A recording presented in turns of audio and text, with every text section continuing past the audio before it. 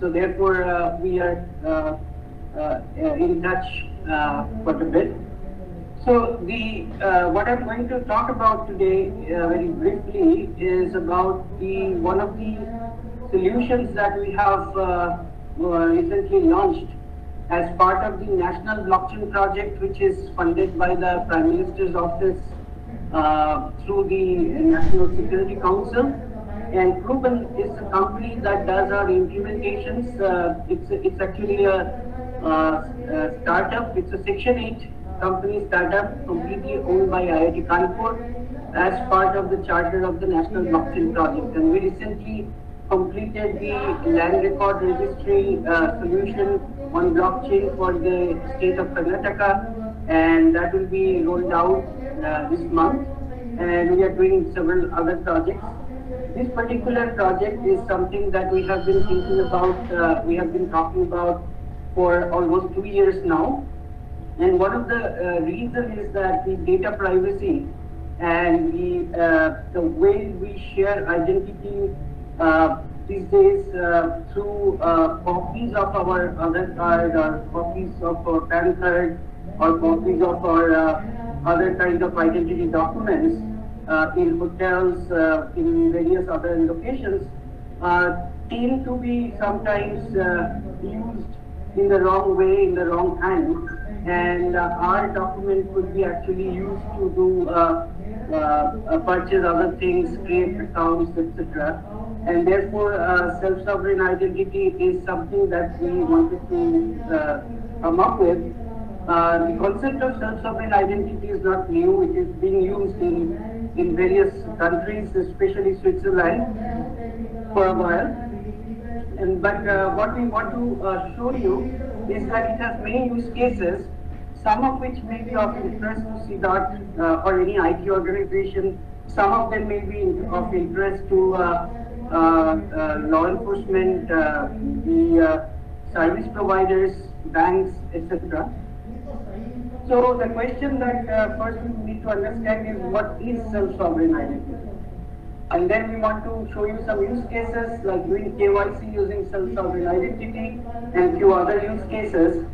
And then if we have time, we'll talk about self-sovereign identity around the globe, that is where, where else it is being used. So what is self-sovereign identity? So in self-sovereign identity, the user data, that is its identity related data, is completely under the control and ownership of the user uh, it is never shared as copy uh, with somebody else. Uh, and therefore there is a no uh, there is no chance that somebody can use that to actually uh, identify themselves as you. And uh, also in, a, in an idealistic world, the self-sovereign identity also guarantees that there is no central repository of your identity information. therefore, there is because those repositories then become a big target for uh, cyber uh, attackers to actually get a pretty large database of your identity, your uh, address, your phone number, maybe your uh, bank account uh, number. Uh, it could be also your biometric information, etc., etc. But in our country right now, because we have Aadhaar, and Aadhaar is the central repository of identity, so what we are uh, doing is that we are trying to build a system of self-sovereign identity where uh, once uh, Aadhaar provides a verifiable credential to you, you can then use it safely. Now, uh, you don't have to do eKYC or offline eKYC or give a copy of your Aadhaar card to a verifier, whoever wants, it, wants to verify your identity. Similarly, for other credentials, for example, your driving license, uh, your um, uh, degree certificate, your uh, grade point, all this kind of information could be made into the uh, verifiable credentials. So verifiable credentials are credentials that have added features like digital signatures. So therefore, cryptographic techniques can be used to identify you and uh, therefore uh, you have uh, no reason to share that information as such in any other form or in, in, even in the form of uh, signed XML, uh, which uh, is used for offline Aadhaar verification, for example. And this, uh, the, the format for uh, the verifiable credential is standardized by WWW consortium and therefore it's pretty standard so we can basically have all the different credential providers to actually follow the standard. And then as user, what you have is a digital wallet. And this wallet is where you store your credentials, but these credentials are individually signed by the credential provider. For example, your Aadhaar credentials will be signed by the Aadhaar authority, UIDAI. Similarly, your driving license would be signed by by your uh, the uh, uh, the registration of motor vehicles, or if you're if you if you have, have a degree from a university, the university will sign all the different components of that credential, and then you keep this uh, components, these individually signed components as uh, uh, and use them for proof of your identity or your degree or proof your address or prove your birth date or if you, prove, if you want you can prove properties of your credentials. For example, if you want to prove that you are above 18 or you are a senior citizen above 65, then you can do that without even revealing your birth date. You can do that by what we call the zero knowledge proof so there will be an uh, irrefutable proof, mathematical or cryptographic proof that the other party will be able to be convinced that you are above 65 or you are above 18 or you are this age. And this, uh, uh, this model, everybody should, uh, the one, one uh, problem in India might be that everybody should have a wallet uh, on, their, on their phone, digital wallet, and this requires that everybody should have a smartphone at least as of now. And the, the basic ecosystem that we have built is as follows. So we have a public permission blockchain. So it is public in the sense that it can be accessed, read, read by others. But in order to put data or in order to uh, you know very validate the data or in order to actually uh, put new data or come to a consensus, you have only permission entities. And these permission, enti uh, these permission entities could be all the different credential providers, all the universities, etc., etc. Uh, that that will be basically running this uh, sort of consortium model blockchain. So, what is the use of the blockchain? First of all, every entity should uh, has a digital signature, which means that every entity should have a public key. So these public keys will be uh, actually be available on this blockchain. Since blockchain is immutable and not easy to uh, easy to change, the public keys cannot be uh, uh you know unauthorized. In an unauthorized change of the public key is not going to work. Uh, if if somebody wants to do that, try that. But uh, an authorized change of public, you may change your public-private key pair. In that case, you can actually do that in the blockchain. Second thing that is there in the blockchain is that every credential provider will put a particular credential format, that is the schema, in this blockchain because universities will have a different schema than the other and then the, than the PAN card and then the, than the uh, driving license because they have different pieces of data in them. So, so every credential provider will provide what is the schema because that schema will be needed for a verifier if one wants to verify your identity to know in what schema the data is there and accordingly it can request the data. Now, the, the, the way it works is that the user is the holder of the credential, he has a digital wallet, so he requests to the issuer the, uh, the uh, credential. So for example, first time you want to get your Aadhaar credential, you have to do your KYC with your fingerprint, etc and Aadhaar will send you the verifiable credential, each piece of data individually, digitally signed. And then on the other hand, the issuer will also register a schema and credential definition in the uh, blockchain. Now, uh, once you have that, let's say after getting your Aadhaar, you actually want to you want to get a verifiable credential format of your degree. So you go to your university, and then the university is your verifier, so the verifier will uh, request proof of your identity. So you can use your Aadhaar ID for your identity. And then once the once the verifier is satisfied, then it will send you its own uh, credential, your degree credential into. So you get a second second set of credentials in your wallet. And this way you can accumulate different credentials and bootstrap from the first credential that you had.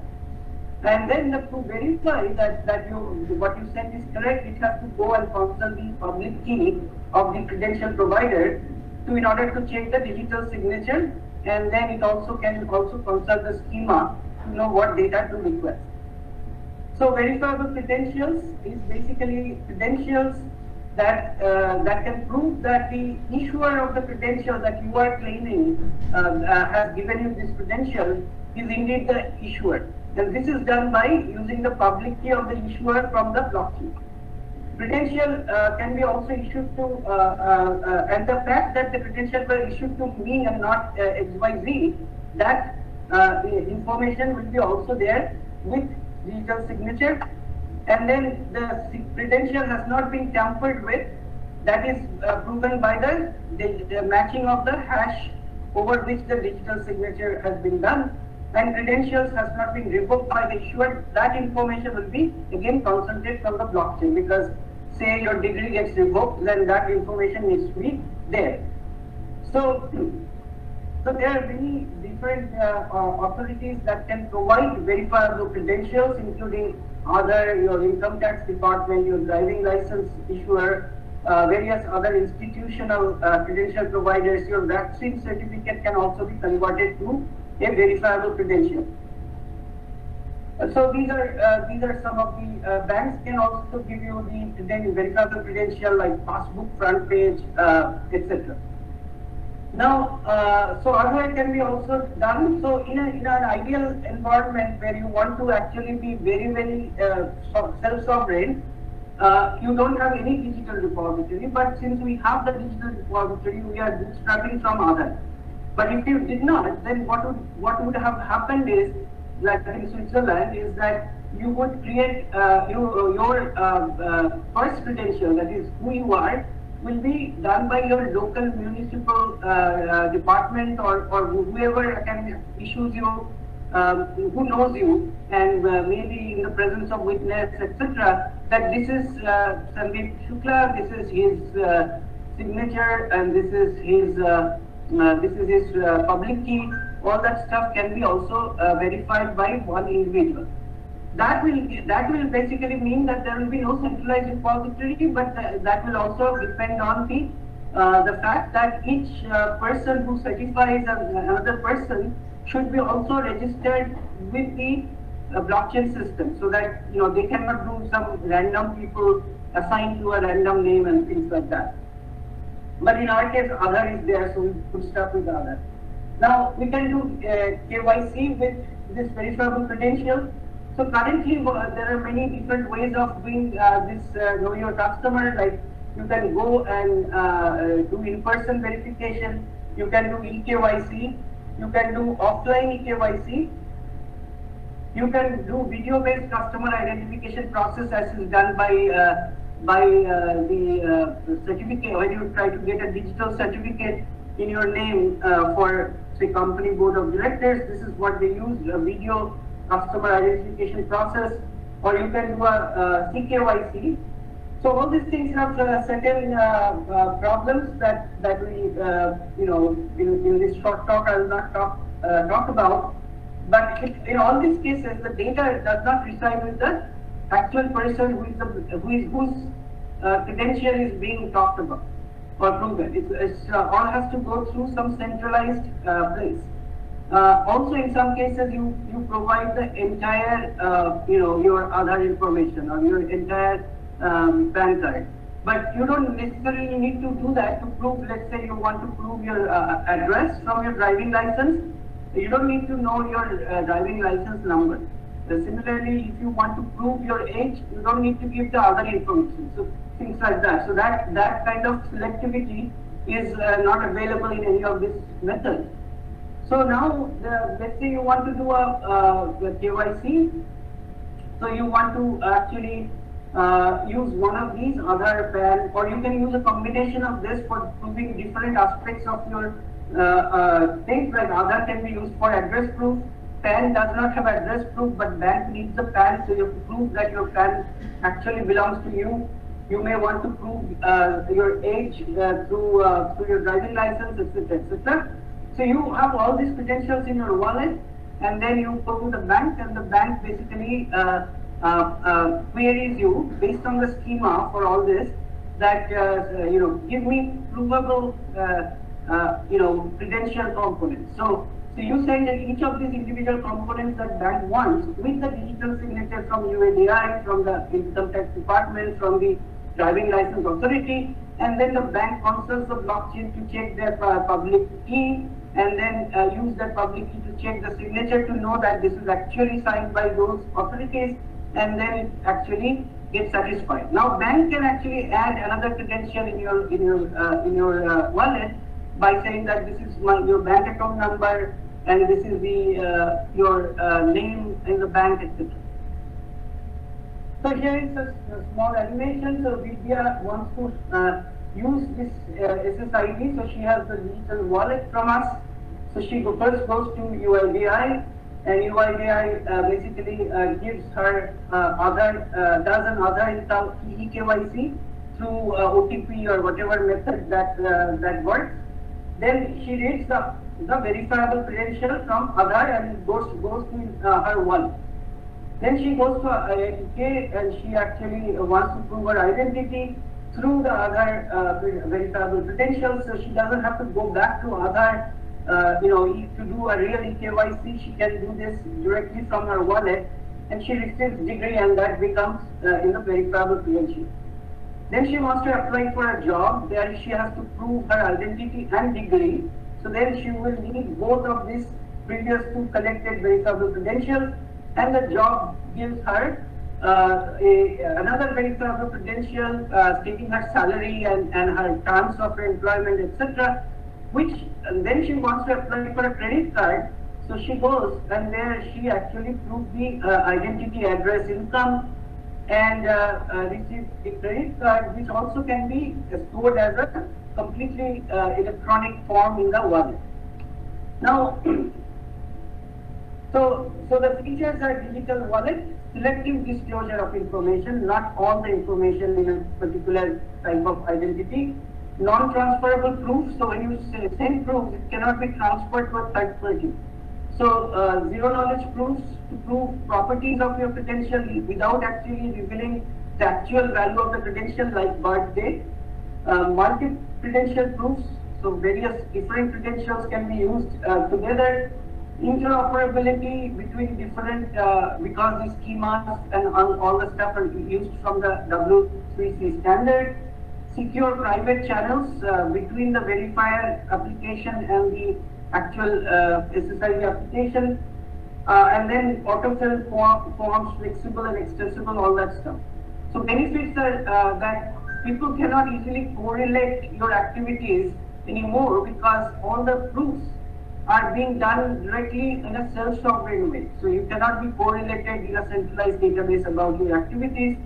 Data minimization, reduced identity thefts, identity frauds, fewer obligations from the verifiers. Right now, every verification, like a credit card, takes three, four days.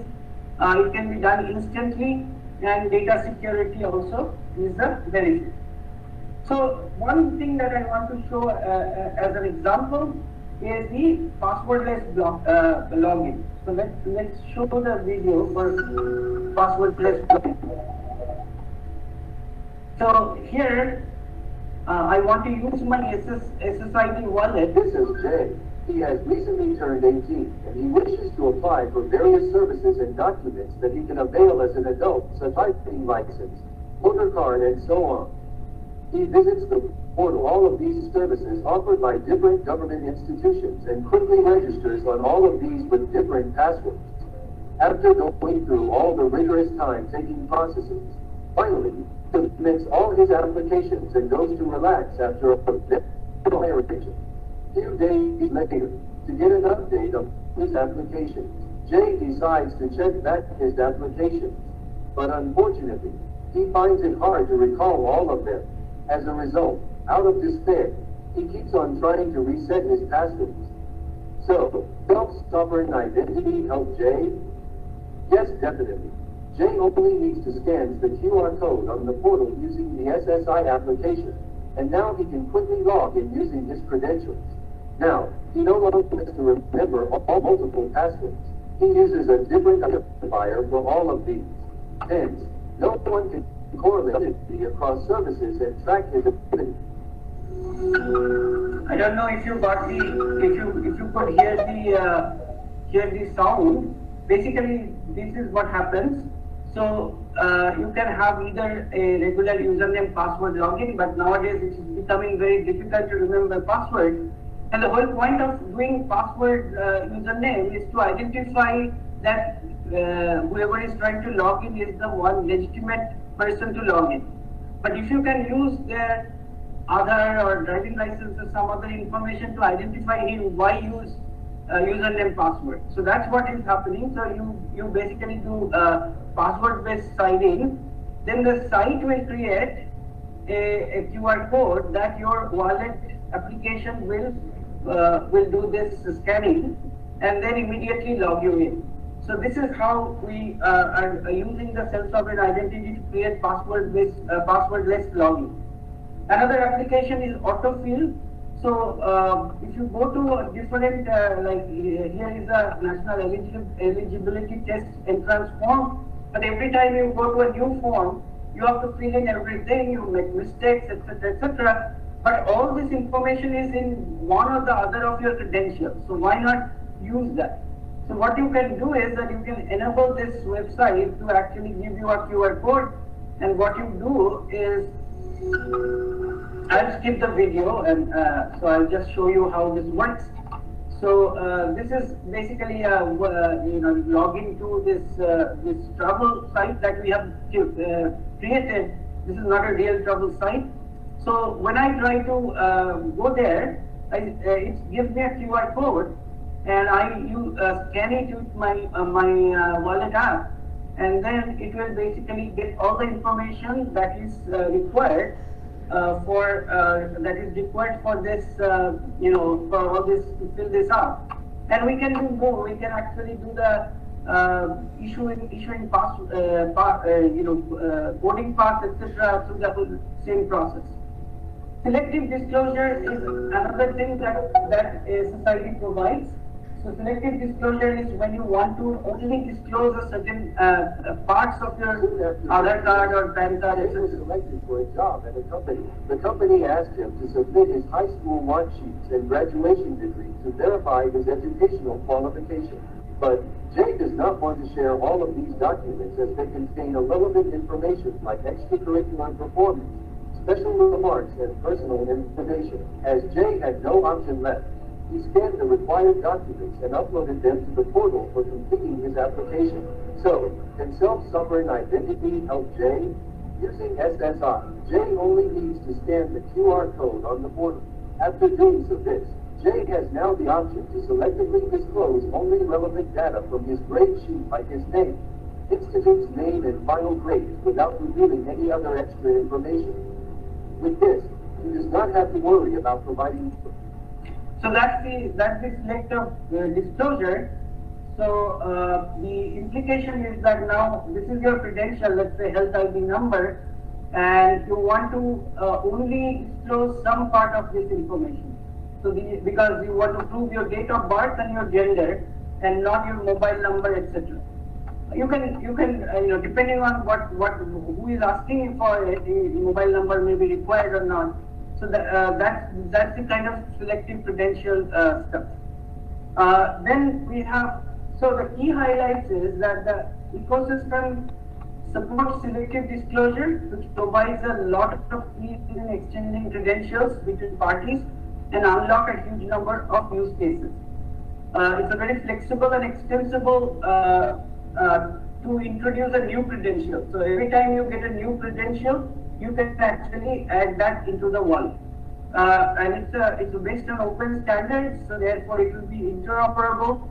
And you can do instant digital verification of your Aadhaar, your PAN, your, uh, your driving license, your degree, uh, your bank uh, statement or your um, salary, all that kind of information, if you select to do so, if you select to uh, uh, provide those proofs, uh, and those proofs cannot be refuted by the uh, by the, uh, the entity asking for uh, those things because they are digitally signed by the right authority. So, uh, so and this is compliant with most privacy regulations, GDPR, PDPB, etc. So uh, I will probably um, uh, uh, skip some of the slides so you can prove your Aadhaar stuff without uh, the KYC service. Right now the KYC can be done both online and offline or by giving a printout. Giving a printout is the most insecure one. Uh, you know, it, it, has been misused uh, like anything, and then it is used asked by everybody. Like even the guy who uh, comes to give a, a, shipment in my in my house, he says, "Give me your copy of your Aadhaar." So, so that kind of uh, misuse of Aadhaar can be actually stopped by using this. Uh, you can also, uh, you know, use this for various kinds of simplifying mortgage application, onboarding clients, uh, apply for credit card, employee verification. You can also uh, do this for uh, travel and transportation like instant COVID vaccination certificate, uh, driving license, travel permits, shipping documentation. And if, uh, you know, this thing actually becomes widely acceptable, even your passport can become converted to this kind of a credential. Uh, so so there are lots of these use cases. Some of these are very, very useful for us, like password-based uh, login, uh, uh, and then uh, autofill, uh, then uh, instantly opening bank account, etc. They, they, of course, this this kind of work has this one problem that now we are working with uh, the National E-Governance Department. We are we are trying to convince the RBI to uh, make it uh, uh, make this as one way of doing KYC. Uh, uh, we are talking to health, the national health effort that is under NITI Aayog to see whether they can they want to use this. So so unless we onboard all these organizations and all these different uh, uh, credential providers, uh, this will obviously be not be used very much. So, so that's where we actually are trying to uh, popularize the idea and the idea that uh, I'm trying to actually show the benefits of this. Right now, we are talking to a number of different uh, government entities and RBI. Once, you know, and also UIDAI. So once this UIDAI gets onboarded, I think the other ones will get onboarded easily. So that's where we are. Uh, I have a lot more slides, but I will stop here because my, I think my time is up.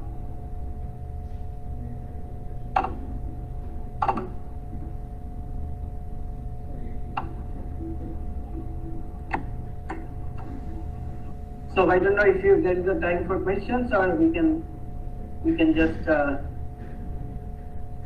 finish.